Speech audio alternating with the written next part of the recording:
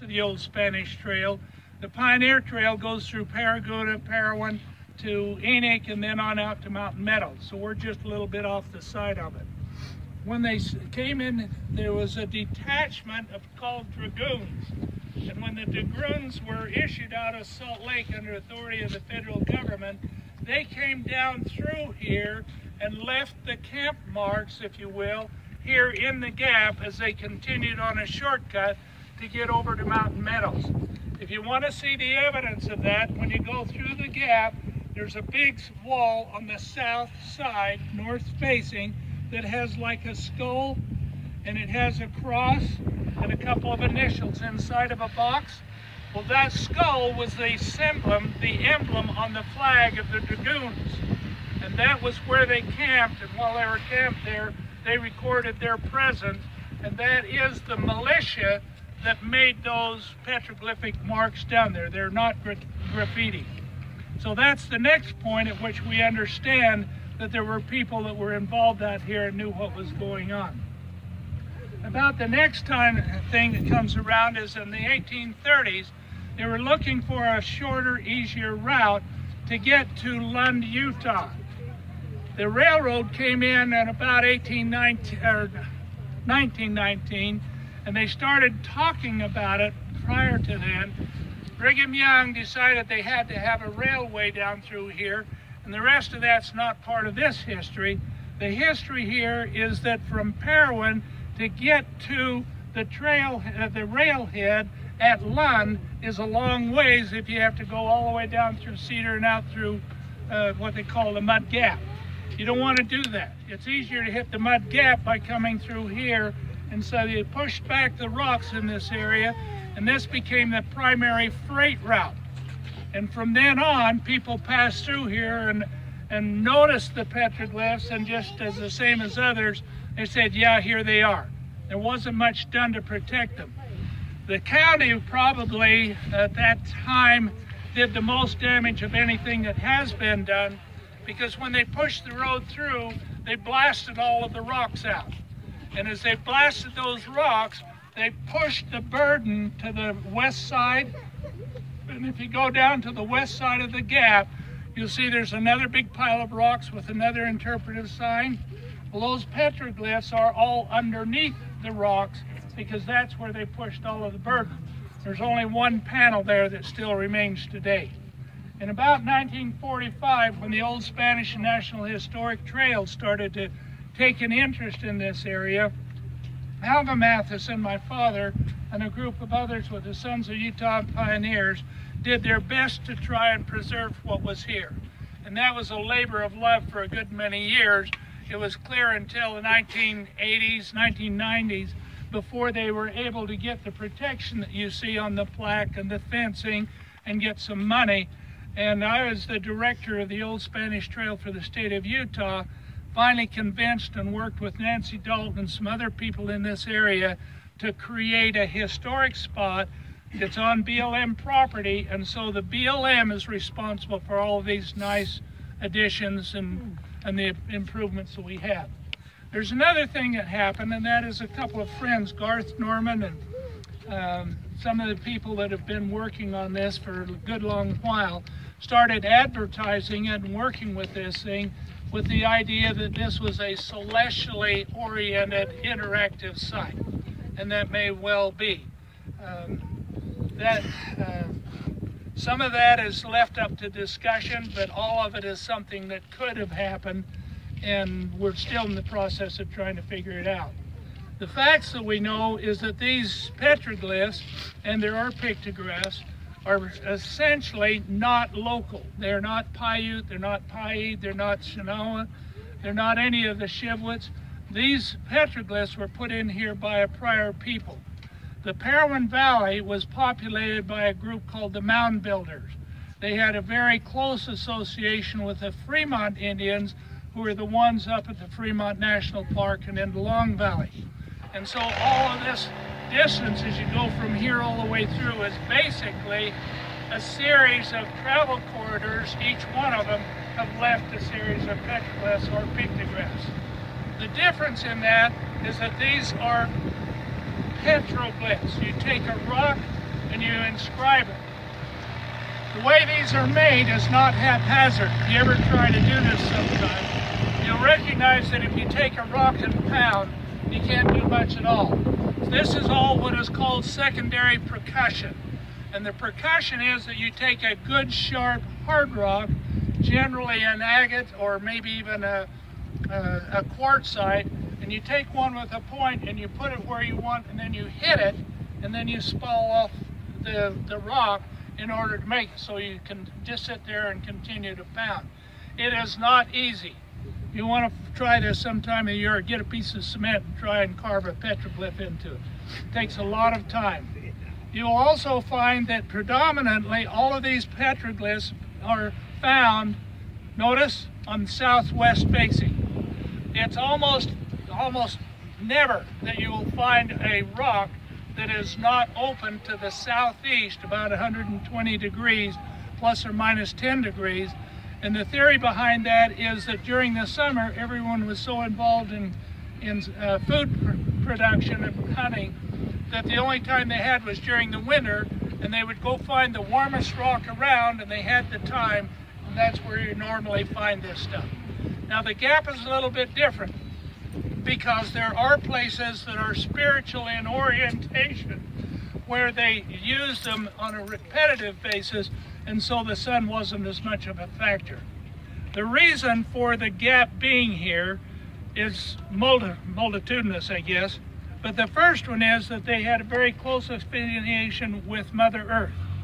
The second is that if you go down the road here just about 100 yards and look back up here in the sidewall, you'll see a perfect profile of what they believe to be the Indian god Tobats. And Tobats is the guardian of this place. Now that's a Paiute approach. That's a recent, more recent Indian. Whether the uh, Native Americans prior to that ever saw Tobats or not is probably a little bit of conjecture. But at the same time, this became a very sacred spot for everybody using it. Um, Nal Morris and Garth Norman are probably the two. Nal is an individual who determined that by looking at this thing, he saw a relationship to the navigational systems of the, the sky. And so he put these by retrograde back into a computer and found that there are ley lines that work back and forth through the gap. And if you go up here on the hills, there are places where there could have been cairns, there may have been cairns. The problem that I have with some of that is that many of the places where he now finds cairns to mark these locations are places that have been disrupted by the road crews and so they have to be recent or have to be someone else. The other thing that you may find that is interesting is that most of these things are very high. The petroglyphs that you really want to see are not the ones you're looking at.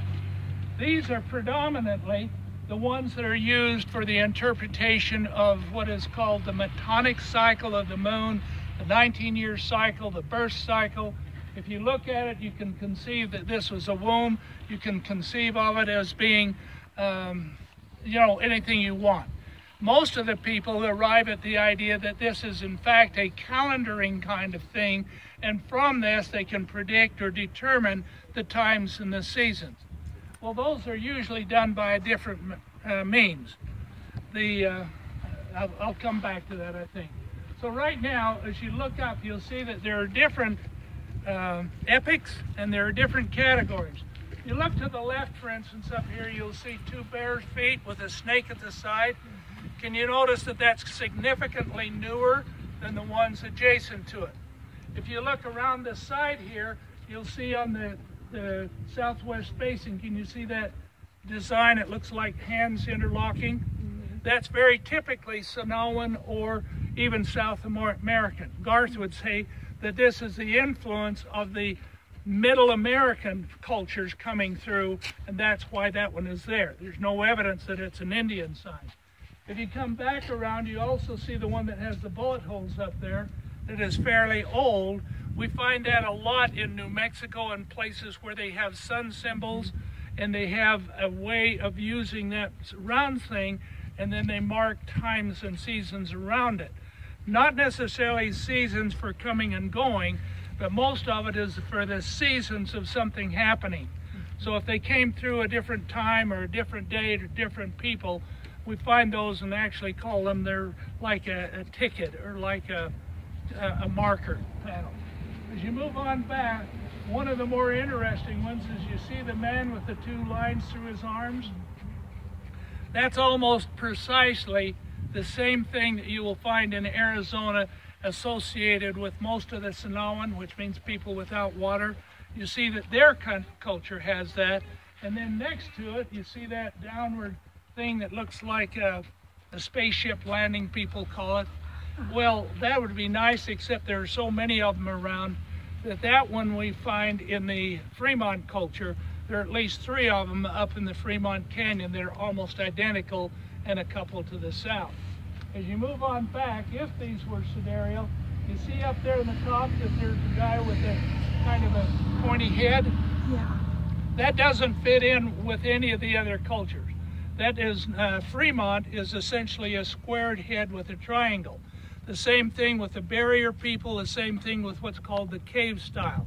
So that one is most likely to be a very old one, and that's up where the chicken uh, feet are, they call them. Uh, where you move across that, you can see that that one is a completely different style than any of the others that are put in there. Then you come back down, the most curious of all is you see the one that has the orbs up there is very distinctly Fremont. So once again, you have a different group uh, I guess the point of this is that there are a lot of people making the marks up here. If we had an opportunity, and I don't know, I'll just give you the words. As you walk down through here, you need to be particularly mindful of a couple of things to look for. On the, the uh, side as you go down, there's a very large rock that most people just pass by. If you look in the center of that rock, you'll see a turtleback very cleanly. That is presumed to be a clan symbol for a family that came back very regularly. If you go on down further, when you come to the rocks that have the glyphs on that I mentioned were put there by the militia, if you look to the right and go up at an angle, you'll see a mule, pregnant mule, that is the most perfect little guy you ever saw in your life, if you mm-hmm. look for it. That one obviously comes from sometime after the old Spanish Trail in there because it's not a deer or something else, it's a mule. When you come back to the other side, you need to look back up at an angle into these other rocks and you'll find a plethora of additional markings and most of those are diagrammatic. They look like signs and symbols, not like their communication. Another thing that I'd suggest in the interest of your time is you go clear through to the end where the little uh, interpretive panel is. If you come back about 50 yards, and most people look at eye level, in this case you need to look up at about a 60 degree angle, and you'll see that there are more geometric figures on the top, and you'll see one of these tally glyphs up there as well. Where's that or south side? Uh, it's on the south, or on the south facing north side. Um, one other last couple the of comments. one is on that side of the road? The, Turtle? the turtle is on the south facing side. North side. It's on your right, On the right. on the right as you go. Another thing that you probably want to know, especially those who are interested in rock art, is that this is not where the glyphs are. The good stuff is not here. Um, There is. one of the things that is predominant here is that people have interpreted this, discussed it, they put it into local culture. Uh, we have a, a, a solstice and we have an equinox and we have people come around and everybody talks about it. But to be a sidereal glyph, you have to have a gnomon. A gnomon is something that controls all of the views and the angles. Well, there isn't one here, but yes, there is. It just happens to be a different place. People haven't discovered it. When they do, there will be a new history written for this place. And I'm not going to tell them where it is. The other one is that uh, as you go out of here, when you come to the point at the end of the road where you can now see the little salt lake, the playa out there, stop. You may see a little bit of a place to the right. If you pull off to the right there by one of the reflective signs, and you may have to walk, walk directly across to the south facing ledges, and you'll see uh, uh, up there there's a sun symbol that's nearly three feet in diameter. There are several life-sized anthropomorphs in there. There are a number of, uh, there, there's just a whole story of things going on. Between here and there and that next mile, there are at least three Spanish crosses that have been put in there. This land, this area, for those prior years after about 1668, was very populated with, uh, or prior to that, was populated by the Spanish culture. The other problem that I, and I don't want to say a problem, people keep looking at these and making interpretations, but what they don't do is look for other corroborating pieces of interest. There's a place directly to the south here called Wind Canyon.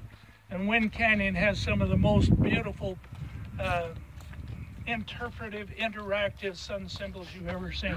And they are very distinctly calendar oriented. So one of these times, uh, whether it's uh, Nal or Garth or one of the others, will kind of take this thing in context and say, well, wait a second, we're not just this own little place. Let's look around, and when they expend their minds, they're going to find a whole lot of stuff that they've been missing. Do any of you have any questions or anything that I can help with? You've really been great.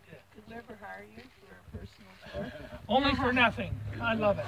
I would rather do this than about anything. We can join that protection organization. That would be. What's also interested is when you, one of the things that I can kind of bring to the game, and that is that I'm a master navigator. So when these people talk about astrological and those kind of things, you have to follow with me. They don't understand what they're talking, not because they don't have the intellect, but they don't have the background to understand the difference in angles and azimuth and heights observed and HOs and all the other kind of things. Because if you were to give me a, a staff, let's say a broomstick, and put it right here in this concrete and a black pen, I can do everything that is done here with nothing more than that. So if I can do it, and I'm just an observer, and if the local indigenous people are observers and look at it once and then come back a year from now, you know, you get a pattern. And in a person's lifetime, you can say, wait a second, it's almost springtime. Wait a second, it's being winter. Why? Because they've seen it happen. You don't need a rock to tell you that, and having a rock doesn't make it any easier or any better. So it's, it's a lot, sir the uh, the large largest symbol there that looks like antennae going Uh-huh, up. Yeah. How do you interpret that? Are you really asking me that? Do you really want to know the answer? I do. All right, now, I'm going to swear everybody to absolute silence. I do not want anybody, and since I don't recognize many of you, I can get by with this. I do have an answer, and it's not the one that people are telling you. The one that you're going to hear is that it says either a womb or it is a, a journey in time, forward and back. There are a lot of those other things. My answer is within a few miles to the south of here, and maybe you'd like to do this, I can take you to a location where there are at least eight of those carved into the rocks. Each one in a different direction, each one at a different location, each one with a different symbol, and they are characteristically identical to this with the exception they don't have all of the little feathers. Oh. Now, how do you think the Indians acquired their game? They didn't get out here and chase them around like they're rabbits. What they did was they took two fences, either natural or unnatural, that they built, and they channeled them into a narrow neck that they could control, oh. and then they had an opening on the other side called a game trap. Okay, so hmm. the Indians were relatively proficient at using those game traps. And each time they would hunt, they would make one of these traps and they would put branches and whatever it took and then beat the brush until the game moved into it. Now they had them cornered. Then they had a better chance of making it. The only thing that I'd suggest differently is that I believe this.